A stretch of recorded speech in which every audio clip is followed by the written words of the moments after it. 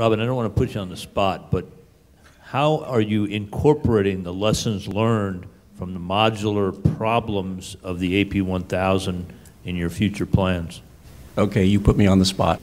It may sound a bit shallow to, to, to make the statement that we are leveraging the ongoing lessons learned from AP 1000, not only in module uh, manufacture and delivery and, and implementation and, and, and assembly, but across the very broad spectrum of delivering a new Generation 3 plus nuclear power plant, large plant, to the world market.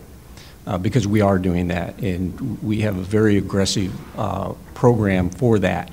In terms of modularization, uh, there, there are over, you know, well over 100 modules associated with the AP1000. And is it easy? Absolutely not. Has anybody done it before? No.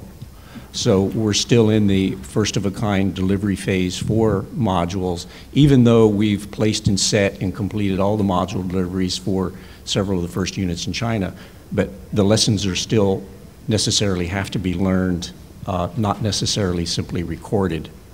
And, and uh, that's extremely important to us. And those eight projects are so close together that at some point there has to be room for learning to occur such that it can have an impact on the next project.